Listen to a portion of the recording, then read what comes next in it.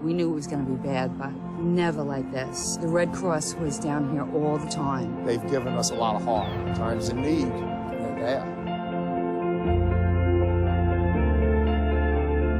My dad was watching his house burn. He turned around and all of a sudden there's this guy standing there from the Red Cross at a point where I had just lost everything. The idea that there was someone there, it's an amazing thing.